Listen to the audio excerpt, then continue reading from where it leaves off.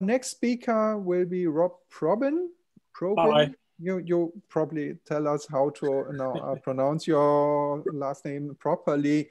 Forth debugging in robotics, and that's great. Uh, uh, so if you want to, you can share your screen and Yeah, um, yeah. the Let's- let's stage see. is yours.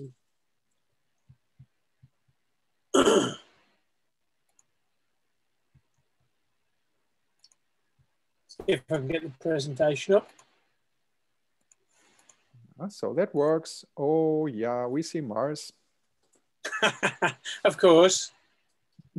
So I is is this sh- showing the presentation? Yes, it does. Okay, so uh,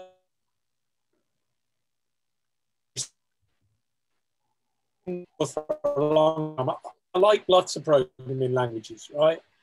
Um, but but I've written forth for uh, um, hobbyist game games for scripting engines, uh, for production tests, uh, for for various embedded systems. Uh, but but I've been involved for well over a decade in in uh, robotics uh, specifically Micromouse. Now, uh, some of you will have heard about Micromouse already, right? We're going since the late 70s. Um, for, for those in the UK, for instance, there was a Tomorrow's World in 1981 or 1982 about it with a ZX80, Sinclair ZX81. Um, uh, and, and hopefully, if I don't run over time, uh, I've got two halves. One is to give you an idea of what's happening on that sort of robotic side uh, what what people are actually doing today, and then the second one, second half is perhaps um, to just give you an idea about robotic debugging, and I, I think that Forth is quite well suited to this this type of thing. It's not it's not certainly not the only game in town, but there's some advantages, um, and I think lots of other people have got things to learn from Forth, even if they write in other languages. Uh, so let's start with the um, let's start with the with, with the beginning of the presentation. So hopefully it's right. So let me talk about UK Mars for a start. So this is Micromouse Robotics Society, which was formed a few years ago to keep uh, hobbyist robotics happening, things happening in the hobby, hobby robotics, and Micromouse, which is maze solving robots. And make sure a competition events happen each year and encourage people to um, to and, and help people provide resources for, for people to develop these things right? Anybody can become a member. Um, most of the stuff the competition we focus on are maze solving robots. I'll show you some photographs. Line follower drag race um, we're not the only people either. I mean the, the ieee the iet uh, pi wars some of our members are helping out with schools and universities. And these things happening right the way across the world uh, in the us portugal um, uh, you know, India, ev-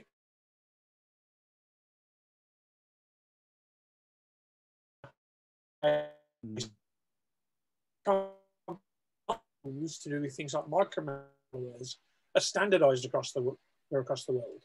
So unlike Pi World Wars that, that sort of redesign their competition, their rules every year, the rules are quite stable, which allows you to, you know, get, get into the what, what is usually a part-time hobby. Um, this is the, the UK Mars website. There's a bunch of information. There's a link to uh,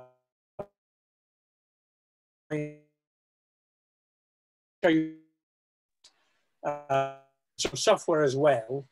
Uh, I think there's a big option Forth, in my opinion. There's a there's a So Rob, may I interrupt you Um, just for a moment? Maybe you switch off your video to get more bandwidth because you're fading away. Um, ah right okay yes Yeah. yeah okay. Let me let me see. Just switch off the camera. That would be fine. Yeah yeah sure sure.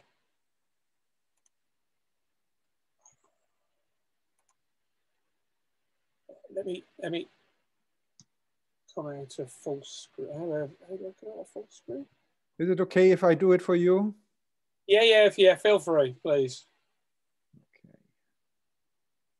Can you do it? So say it again. Is that better? Much better. Right. Okay. So let, let me go on to this slide. So this has got a few. This is this is the maze solver stuff, Micromouse. So um, the, the traditional micro mouse that's been um, uh, happening for um, since the since the late late 70s, early 80s is 16 by 16. And these are uh, 18 centimeter by 18 centimeter cells. Um, and, and, the robots are, you can hold in your hand. Uh, a lot of people is like the five by five maze on the top right. Uh, the competitions are happening every year. Obviously, last year was a bit of a bit of a bit of different. There was some virtual competitions that happened at various uh, various organised. The, one on the bottom bottom right is uh, in Birmingham City University in 2017. Um, there's generally, even in the UK, I mean, quite a few countries host these.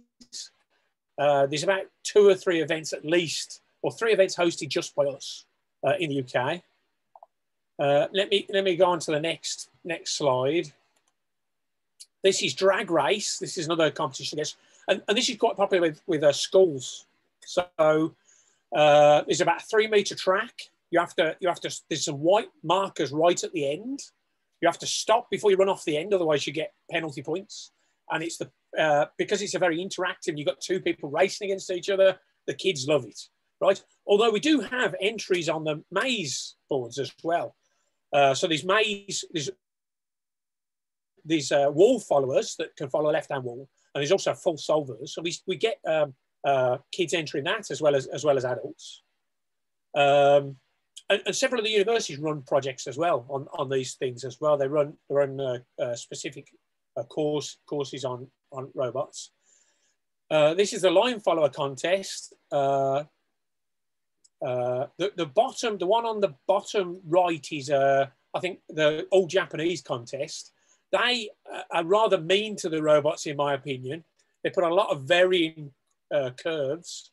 A lot of these robots, these line follow robots, will actually learn the course on the first uh, run round, um, and then will run the, the, the, the course sort of flat out because they know where the corners are. Uh, and on the bottom left, you can see there's a, there's a collection of these. And if you, you can just search for for uh, you know uh, um, uh, line follower competition or, or, or some similar what's it called? And quite often there is a there's a whole array of these robots especially uh, um, in, uh, in in Japan there's a there's a huge number of entries. Uh, these are sort of maze type robots. Um, a couple with people's hands below they, they come in all shapes and sizes they've generally got smaller right uh, over the years. The ones in the 70s, as you might imagine, were quite big, bulky things, maybe with Z80 processors in them. Um, the, these, these things are, are sort of um, are about maybe five inches by three inches type of thing. The one on the top right has got a has got a, uh, fan to hold it down to the to the to the to the maze board. Uh, this is quite common for the winners in the because they corner so fast now. You have to hold them down on the boards. Um, so these get, you know, three meters a second on a, on a competition. What, one of the top 10 robots is not particularly, uh, what's it called? The one on the, the, the top left, I'll talk about a bit more. That's a standardized design from UK Mars, and you can download the um, the Gerber files to make PCBs. You can download the schematics. There's various pieces of software. Uh, I'll talk about that in a minute. There's also half size now. Uh, so this is this is nine centimeters by nine centimeters. The, the cells of the of the uh, of the of, of the maze.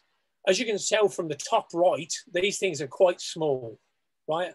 A lot of them are using um, uh, the uh, motors used in quadcopters, very small motors used in quadcopters. They can go up to the mazes, still can be three meters by three meters, but you can fit 32 by 32 cells on those. Um, the one on the bottom left is quite interesting. It's a six wheel design with steering on four of the wheels. Uh, the one on the, the bottom right uh, is actually just a wall wallflower that was run uh, the year before last when we last run uh, in, in a face-to-face competition. This competition is uh, in the UK.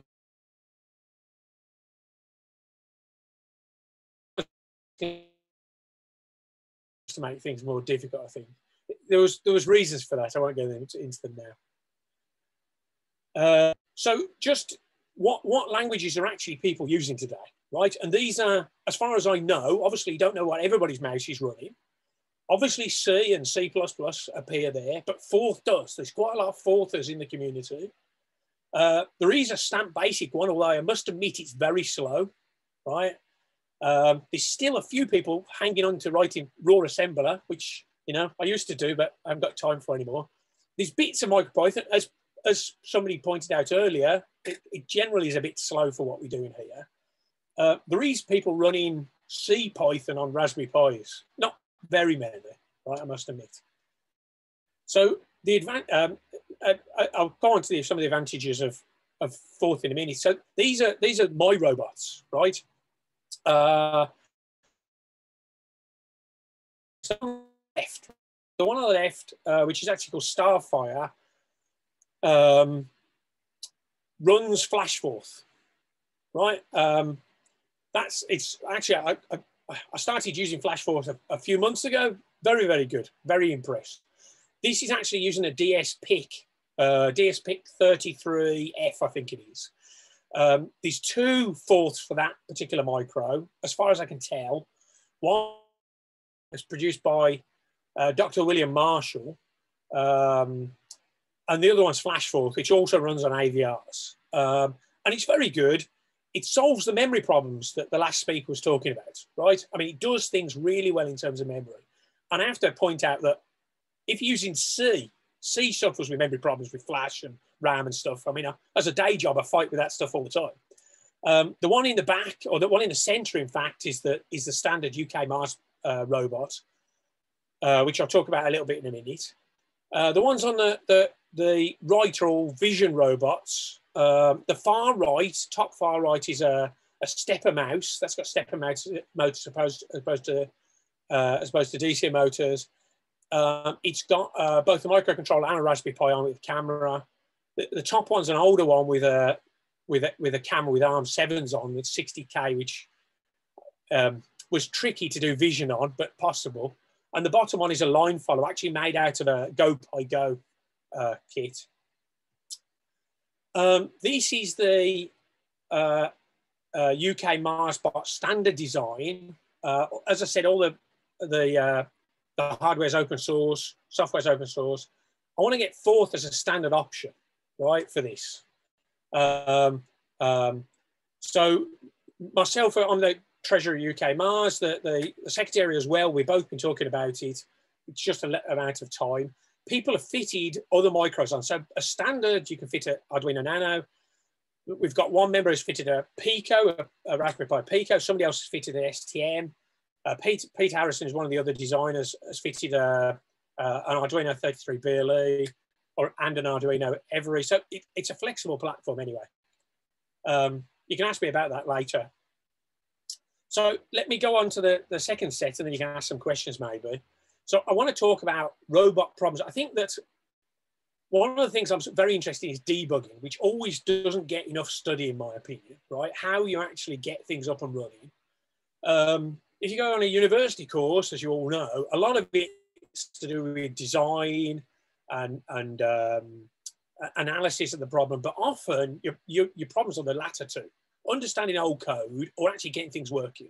Um, so robots especially are problematic because it's tricky to get things running because they've got mechanics, they've got physics, you know, unless you've got a team of like with um, you know, like a, a, team of physicists and mathematicians, it's tricky to actually do it in theory. So you actually need to run it on real hardware and be interactively uh, changing things. Um, so especially with these robots, they move very, very fast. And hopefully if I get time, I'll show you a, a bit of a video.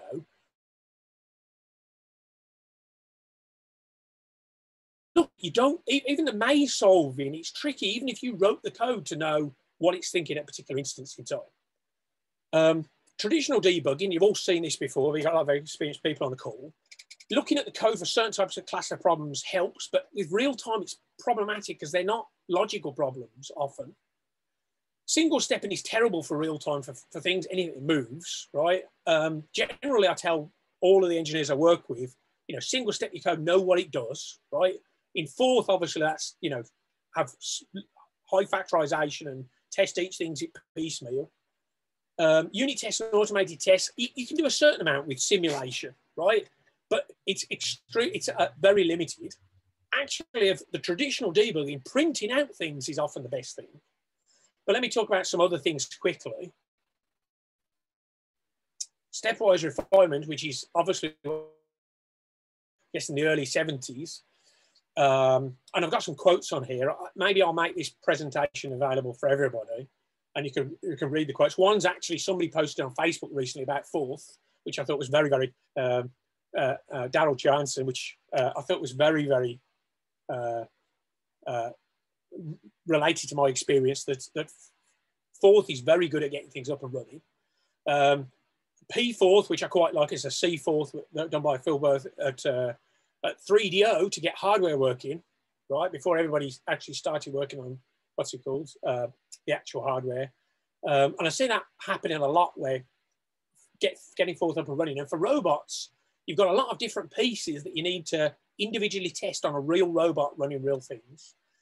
The second thing, which I'm not going to have time to talk about today, is, is custom debugging words, which doesn't happen in C. So if I'm working on a C project in my day job or C++ project, I'll often generate a command line that you can enter small piecemeal words that you can test with. You know, I follow a sort of Forth pattern. But it's tricky to justify writing specific words for that, that get thrown away. It's not like that with Forth and I'd, li- I'd like to, to, to talk about that at some point in the future, but I won't get a chance now.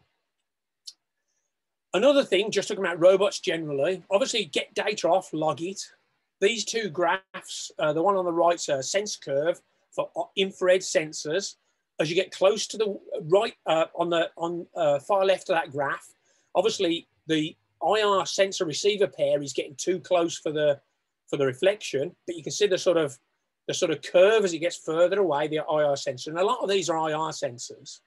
Uh, ultrasonic's not fast enough. Time of flight tends to be tricky as well. So for wall sensing, a lot of the robots use uh, infrared. The graph on uh, a speed controller where it's accelerating up to a particular speed you've specified, then decelerating to do a turn. The grey is the is the forward velocity, the v term. And then uh, we've told it to, to, to finish at a particular speed. So it drops down to that speed. The yellow curve is the, is the, is the angular, the, the omega term, the angular velocity. Um, and this is off a real UK Mars bot. The data is generated by motor encoders. So that's why it's no, noisy, right? If you get the better, uh, motor, the better your uh, encoder on your motor shaft, the less noise you get out, but it tracks it, as you can see. You can't actually see, there's actually four lines on this, um, but they track so well. Um, and I could talk about uh, uh, that sort of stuff in another talk, perhaps. Um, people draw lines on their on their maze boards to make sure it tracks, uh, or they can understand where it, where it's going and where it's off. Um, videos, etc., help with that. Even even having it fit in a, a, speaker or a buzzer on the board to get some audio feedback uh, is a good idea because you can often hear things better than you can see them ironically because these things move fast so fast. The, the last thing then before uh, is, is perhaps to, to see if I can convince this to play some video. Uh, so this is this is which one do I want first? I want this one. Hopefully you can all see it now playing video on uh, playing video on, if I can just find what I did with the video. There it is. Playing video on a, a Zoom call is always an exercise. Is always an extra, exercise. What I might do is upload these to. If it doesn't play to, I might upload them to YouTube and send out links to the group anyway. So this is the, the guy on the left who you can't see his the face is Pete Harrison. He's won the competition several times. So this isn't my mouse. I wish it was. Um, so this is the mouse running not full speed, he's doing an explore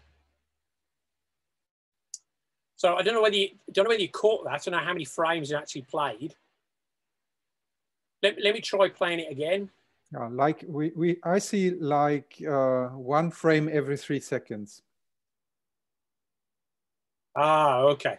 So the, the answer is it gets to the center of the maze in eight seconds. And it's not running, it's probably doing an explore of this because it runs faster than that. So for instance, you'll, you'll notice that it, it's doing diagonals through the, through the maze. It's difficult to know what's going on. So in terms of debugging, smartphones are great because they've got slow motion. So you might actually be able to see this. I apologize for the flickering because, but this is the uh, fluorescent lights. So this is, so now you can see that it actually tracks the maze very, very well. I've also got a warning my internet's unstable. So what I'll do is I'll, I'll upload these to YouTube so people can take a look at them offline. There are uh, Rob, show us a robot uh, running on Python so we can uh, follow the image. It, it will run slower. This yeah, runs yeah, yeah. fast. yes, yes, I agree. so, so yes, I agree. So, um, as you can see, I mean, other people have said that Forth is good for robotics. I agree. A absolutely. Now, some of these robots are obviously written in C, but there's there's a lot to be said when you're getting things working. There's a, there's a although they're simple devices, you've got encoders. You may be of storing parameters in the EEPROM. You might have to do, um, you know, you've got IR sensor calibration to do. You've got um, uh, motor control to do, speed control, position control. You've got a lot of individual pieces to test. And as a, as a when, when you're developing a robot, it's, it's not clear how you get all these pieces working individually and working well. And you need to do that interactively. And Forth is good for that.